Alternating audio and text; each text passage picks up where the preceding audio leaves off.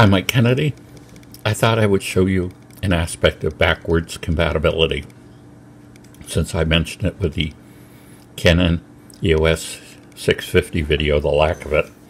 So here's par partial backwards compatibility. Nikon uh, DSLR D5000. It's got an image stabilization lens on it, autofocus. You can see all the pins. Here we have a lens from a film camera, and it's not even an autofocus lens, it's a manual lens. And this is all I happen to have, but we'll put that on, and you can see it mates to the camera.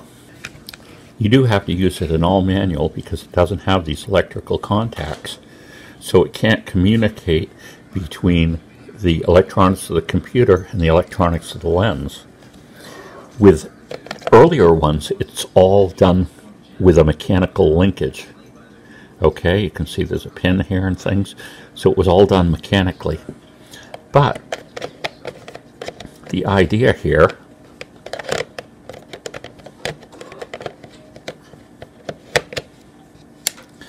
the idea here is that you can still use this in an all manual mode. That means you have to pick your aperture that's uh, this ring. It's kind of hard to see, but there we go. You can see that ring that turns. And you would focus it too. And uh, why this is kind of important is uh, because of the cost of lenses. Now, you can imagine they made a 50 f1 lens for the Nikon. I think that lens still goes for like $500. And being all manual wouldn't be that much of a problem because a lens like that, you would tend to be having it on one aperture wide open. And the manual focusing you could do easily because of the, the uh, lens gathers a lot of light. It would be easy to see. So uh, this was one reason why uh, the Nikons uh, continue to be so popular with pros because they offered this backwards compatibility.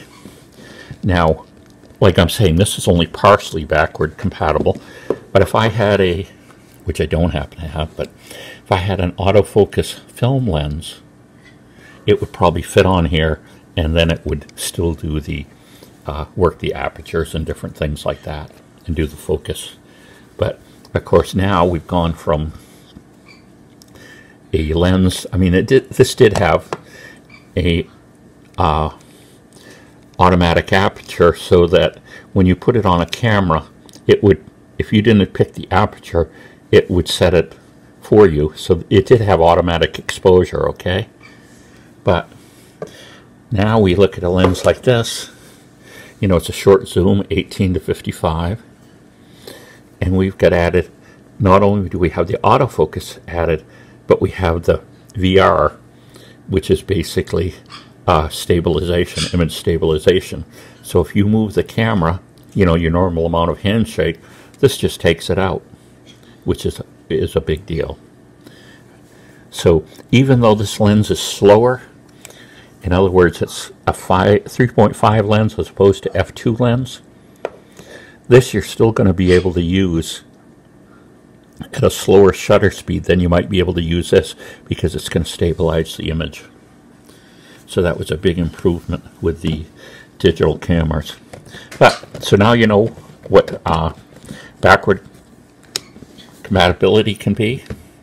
It can allow me to use this lens on the uh, the film lens on the uh, digital camera for spe some specific uses that I would definitely use it for.